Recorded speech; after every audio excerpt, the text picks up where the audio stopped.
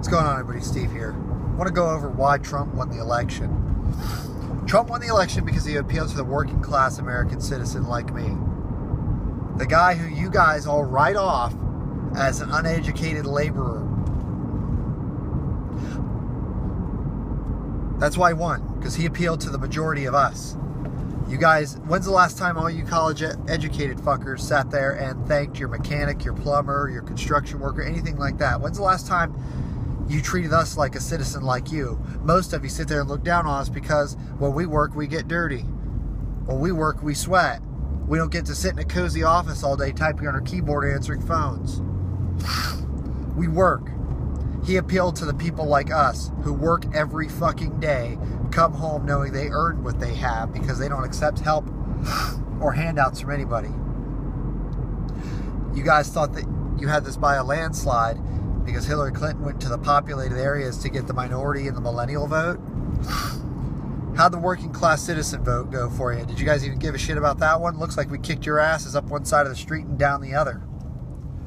You say that you won the popular vote. Yeah, by about 100,000.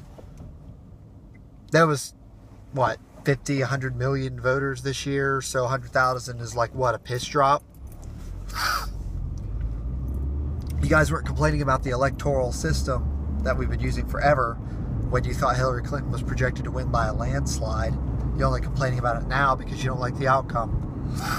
But Trump won because he's not a politician who's been in office for 20, 30 years in some form or another,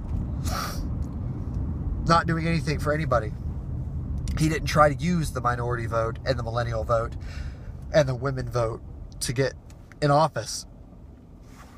You guys are pissed off. Most of you are pissed off because we don't have a woman president. That seems pretty sexist if you ask me. We're supposed to be picking a qualified leader. Yeah, she's a politician. She has experience, but it's all bad experience. Look at Benghazi. Look at her emails. Now there's rumors of fucking sex trafficking rings she run under her fucking belly, and you guys are worried about Trump saying bad words? Yeah, sure, Trump's an asshole. I'll be the first one to tell you. But he won because he wants to do for the American citizen. He wants to do for the American legal gun owner. He wants to do for the working class. He wants to do for every single American. Hillary Clinton only wanted to do for people who think like her. Trump wants to do for everybody. That's why he won. You guys are all thinking that shit's going to hit the fan because a few people do stupid shit. Well, there's a lot more Hillary supporters doing stupid shit right now than there are Trump supporters, I'll tell you that. Apparently, you guys don't know how to count with your college educated degrees you got there.